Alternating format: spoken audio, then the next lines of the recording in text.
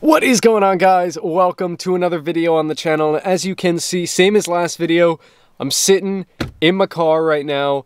I've been waiting on FedEx to come all day. I've actually been waiting on FedEx to come for a few days now because the last bit of paperwork for my new vehicle is coming on that FedEx shipment and they're basically paying for like the overnight shipping back to them. So I need to get everything finished, sent off to uh, the company basically, and then we should be good to rock and roll. The vehicle will be delivered to me Again, guys, I'm not going to tell you what vehicle it is, but I want to quickly say I have like three videos basically that I've recorded that I have not uploaded. So I've just kind of been recording a few videos involving different car stuff, and I haven't uploaded a single one of them, and this is the latest one that I'm recording, and I haven't even uploaded anything. I've, I've literally only been editing them and just saving the files for I guess when I want to upload them. And I, am what I might do is I might when I purchase the vehicle fully and it's in my possession, film a video of actually obtaining it and then upload every video in order up until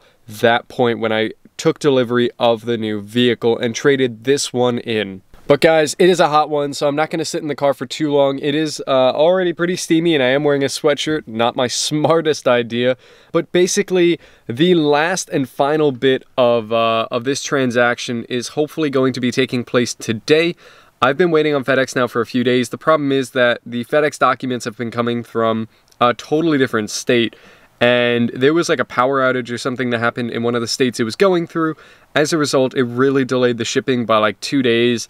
Um, but I did actually call the company today. I got a, a confirmation that the documents are to be delivered today. They are out for delivery right now. It's just a matter of time until I get them, and then I have to turn everything into them, and then boom, delivery guy is contacted. I contact my insurance company. You guys kind of know how it works when buying a new vehicle.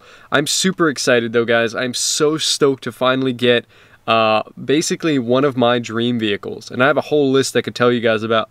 Basically, every single video or every single vehicle that I want is on that list and it's it's a good list guys. It really is a good list. But I did actually get rid of a few of the uh, vehicles on that list. I wasn't truly happy with them anymore and you know over time your views change what you what you want changes. And of course that was what happened and the same can be kind of said about this when I got this car I was in college actually a 2017 Nissan Altima and it's a really nice interior you know really nice uh, cloth seats and everything nice interior I didn't get any heated seats or heated steering wheel, but I do have remote start.